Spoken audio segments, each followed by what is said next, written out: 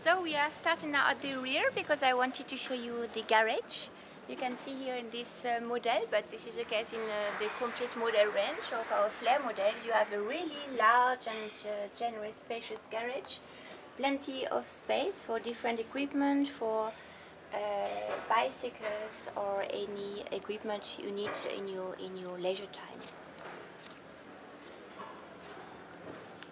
And in this model I would like to show you as well a new feature which is uh, very uh, practical and uh, which uh, many of our customers uh, like to have in models with single beds. Please follow me.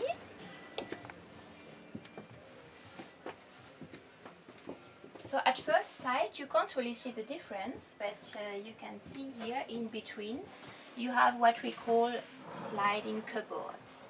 It's very easy to use. You just slide it and you can see here you have some drawers with plenty of space. And if you don't need it any longer, you just slide it back to have the steps to access uh, the bed and of course you have some more storage place here in every step and you have the same system on the other side. So we really use the complete space we have under the beds. So very easy to use and very practical I would say.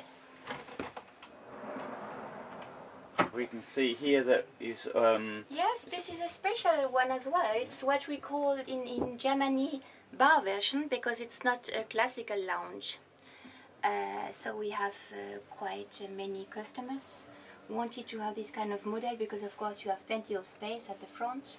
You can uh, work if you want on, on the table.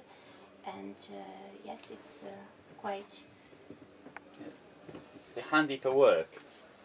It is for yes. sure. With for people table. like me who work in the van. Yes for example you can see here there's a table extension so you can have a, a bigger table this model as well